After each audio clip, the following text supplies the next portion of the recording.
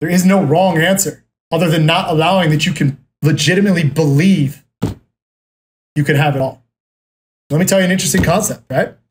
When you start really fully believing that and you start looking at what is having it all, it takes another turn. Made some decisions over the weekend. I took a step back and I said, what did I really create I Am A Comeback? Like, what is this thing? There's been 12,000 people who have have entered into my world through either a book, a on-demand video, the comeback, mostly through the Comeback Council coaching program. And I've helped impact and change their life. But the reality is what I created was a kingdom of kings, like all different kings, all different leaders. Like, why would a biz like businessmen decided to lean in to hear what I had to say, who are directly connected to their families, to themselves, and hundreds and hundreds and thousands and thousands of employees? When I look at what is actually created here, it was like this fucking army of men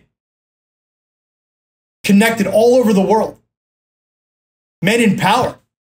And every time I try to leave that and I go try to save the common man, it's not that I don't, because I am that guy. I've been broke, busted, disgusted, and I've been super rich. I've been somewhere in between, right? I have not reached the peaks of my success yet, but I've been every fucking where.